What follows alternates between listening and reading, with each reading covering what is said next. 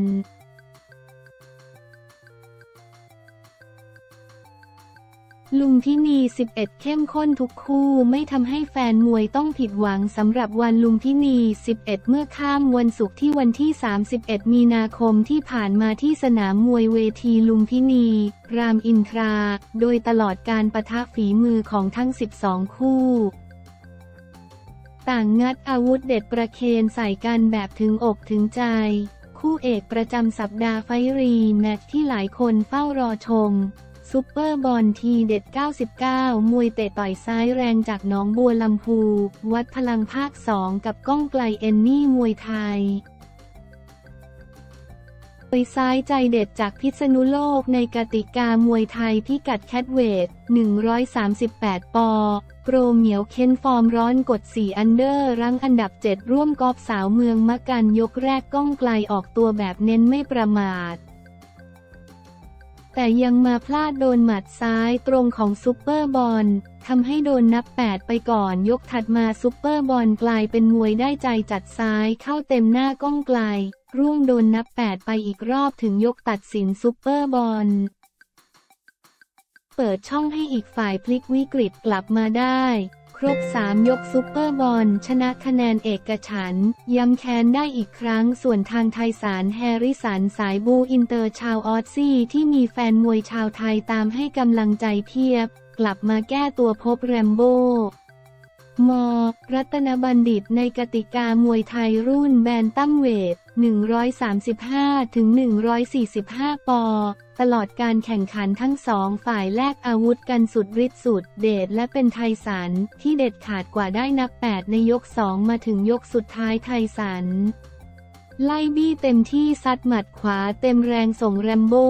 ลุกไม่ไหวชนะน็อกไปในที่สุด และโทษฐานที่สู้กันถึงใจ บอสชาตรี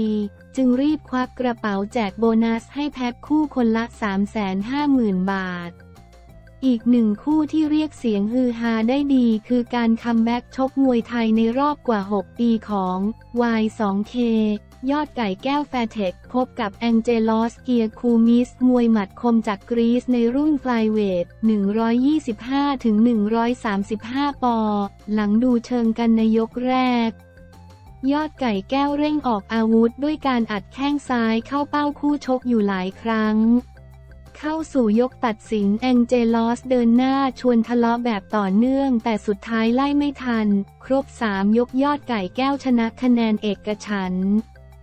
คืนสังเวียนมวยไทยอย่างสวยงาม สรุปผลการแข่งขันทุกคู่ศึกวันลุมพินี 11 คู่เอกซุปเปอร์บอลทีเด็ด 99 ชนะคะแนนเอกฉันก้องไกลเอนนี่มวยไทย มวยไทยแคทเวท 138 ปอ คู่รอง ETT เด็ด 99 ชนะน็อกอภิวัตสสมนึกนาทีที่เที่ยงคืน 37 นาทีของยกแรก มวยไทยแคทเวท 130 ปอ คมอาวุธ FA กรุ๊ป ชนะคะแนนไม่เอกฉันอวตาร PK แสนชัยมวยไทยยิม มวยไทยรุ่นแบนตั้มเวท 135 ถึง 145 ปอ พงศิริสอจอวิชิต 8 ริ้ว ชนะนพเพชรทองเกียรติทรงฤทธิ์นาทีที่ 1 นาฬิกา 57 นาทีของยกแรก มวยไทยรุ่นสตรอเวท 115ถึง125 ปอ โอเล่เล็กชอห้าพยักชนะคะแนนไม่เอกฉันเพชรสมหมายสอ สมหมาย มวยไทยแคทเวท 120 ปอ น้ำพองน้อยสอ สมหมาย ชนะคะแนนเสียงข้างมากสองฝั่งโค้ง FA กรุ๊ป มวยไทยแคทเวท 132 ปอ ไทยสารแฮริสัน ชนะน็อกแรมโบ้มอ รัตนบัณฑิตนาทีที่ 3 นาฬิกาของยก 3 มวยไทยรุ่นแบนตั้มเวท 135-145 ปอ ยอดไก่แก้วแฟร์เท็กซ์ชนะคะแนนเอกฉันท์แองเจลอส เกียคูมิส มวยไทยรุ่น flyweight 125 ถึง 135 ปอ ยูเหยาปุยชนะ TKO เดวีนามาตินนาทีที่เที่ยงคืน 24 นาทีของยก 3 มวยไทยรุ่น atomweight 105 ถึง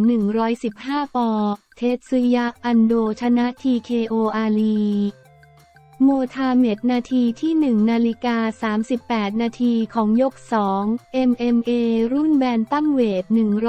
135ถึง145 ปอ อาลีคัตบูลลา ชนะ TKO อันลิสสัน บาโบซ่า นาทีที่ 2 นาฬิกา 22 นาทีของยก 3 MMA รุ่น lightweight 155ถึง170 ปอ อาเนลยาท็อกโทกโนวา ชนะ submission อเล็กซานดราซาวิชีวา นาทีที่ 2 นาฬิกา 13 นาทีของยกแรก MMA รุ่น strawweight 115ถึง125 ปอ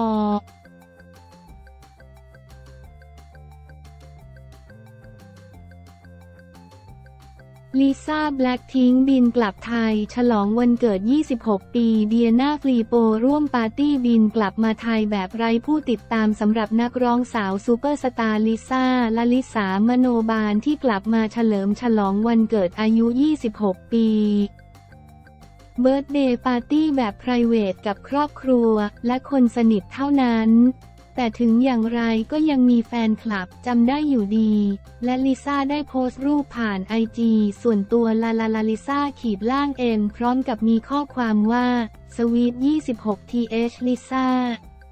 กับ look สดใสในชุดโบไล่ขนาดต่างๆ สีชมพู พร้อมผูกโบสีแดงบนศีรษะมีแฟนๆต่างเข้ามาอวยพรวันเกิดกันจำนวนมาก รวมถึงศิลปินดาราชาวไทยที่เข้ามาร่วมอวยพรวันเกิดอย่างคับคั่ง ลิซ่า และงานปาร์ตี้ฉลองวันเกิดปีนี้ก็ไม่พลาดที่พี่สาวคนสนิทอย่าง เดียนาฟรีโปก็ได้มาร่วมฉลองวันเกิดลิซ่าด้วยเช่นกัน พร้อมกับแคปชั่นเป็นภาษาอังกฤษว่า b e l a t Happy Birthday to my girl Lily at la la la Lisa M may you be the happy girl on earth love love love Lisa สุขสันต์ย้อนหลังวันเกิดถึงสาวน้อยของฉัน ลิลลี่ขอให้เธอเป็นสาวที่มีความสุขที่สุดในโลก รักรักรักลิซ่าเดียน่ามาพร้อมกับเค้กวันเกิดสุดอลังการ จากร้านเออเต้คาเฟ่เออเต้คาเฟ่รังสรรค์ผ่านเชฟดีกรีเป็นเค้กดีไซเนอร์ การันตีด้วยรางวัล Best of Gold ในงานประกวดเค้กระดับโลก Cake International ที่ช่วยกันดีไซน์และใส่ใจทุกรายละเอียด ซึ่งเค้กดังกล่าวใช้ 4 คนทำและใช้เวลาในการทำถึง 3 วันขอบคุณ IG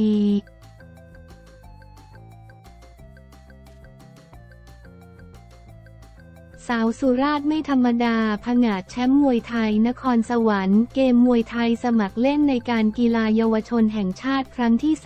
38 นครสวรรค์เกม ชิงก้าวทองที่โรงยิมฟันดาบโรงเรียนกีฬาจังหวัดนครสวรรค์ ไฮไลท์ในรุ่น 45 กิโลกรัม หญิงกิรตาหากระสังนักมวยสาวจากฉะเชิงเทราพบกมลรัตน์มีพรั้งนักชกจากสุราษฎร์ธานีเกมเป็นไปอย่างสูสี แต่ดูชั้นเชิงจะเป็นฝั่งมวยสุราษฎร์ที่เหนือกว่าอยู่นิดหน่อยก่อน กมลรัตน์จะชกชนะไป 2-1 ยก 29-28 คะแนนคว้าเหรียญทองไปครองฝั่งกีรตาจากชะเชิงเซาได้เหรียญเงินส่วนเหรียญทองแดงเป็นของนัทริกาผลสมหวังจากนครราชสีมาและกนกวันจันทแจ่มจากนครสวรรค์ส่วนผลคนได้เหรียญทองอีก 8 รุ่น 54 กิโลกรัมเหรียญทองมินชยาสิงห์วง บุรีรัมรุ่น 42 กิโลกรัมยิงเหรียญทองสุนิสาอนามนาถกทม รุ่น 42 กิโลกรัม ชายเหรียญทองรังสิโรธเพ็งกระโจม หนองบัวลำพู รุ่น 45 กิโลกรัม ชายเหรียญทองสิครินสมบูรณ์สร้าง ตรัง รุ่น 51 กิโลกรัม ยิงเหรียญทองบริมาตรแก่นจันทร์บุรีรัมรุ่น 51 กิโลกรัม ชายเหรียญทองเมธาสิงจร สุราษฎร์ธานี รุ่น 57 กิโลกรัม หญิงเหรียญทองเอสิตรา สอนฤทธิ์ชัยภูมิ และรุ่น 48 กิโลกรัม หญิงเหรียญทองอนุทิดาแสงขาว ฉะเชิงเซา